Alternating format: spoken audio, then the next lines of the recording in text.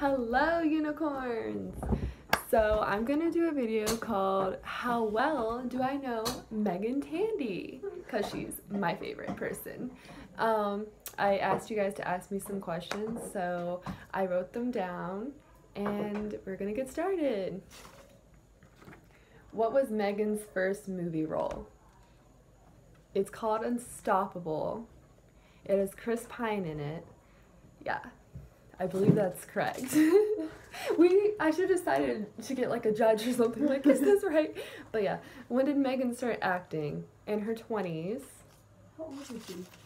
She's in her thirties. I'm not. Gonna, I don't want to say how old she is. By the way, my cousin's in the background. Does Meagan have any siblings? She does have a brother. What's Meagan's parents' name? Fred and Sheila. What's Meagan's favorite color? Teal! And I love teal. Is Meagan dating anyone? I'm not going to answer that because that's her personal life. But yeah, this is just a little thing I wanted to do. And if you guys have more questions, I will have a part two, hopefully, maybe soon.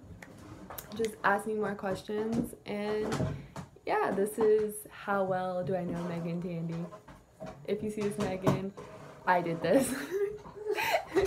Bye, unicorns. Till next time, make sure to follow me and subscribe and just follow my social medias and ask me more questions about Meagan Tandy, my idol, you know.